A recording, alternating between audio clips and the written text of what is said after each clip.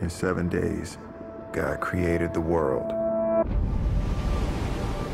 And in seven seconds, I shattered mine.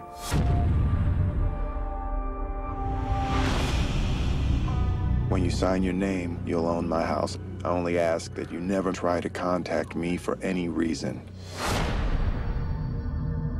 Why me?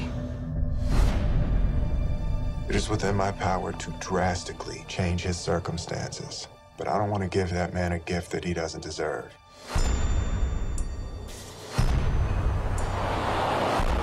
What are you planning to do?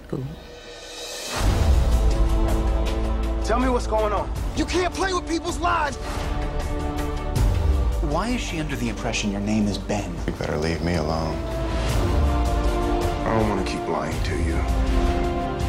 I haven't treated myself very well. Start now.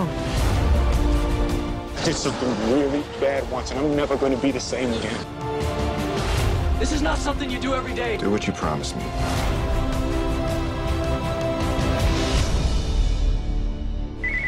Hello? This time,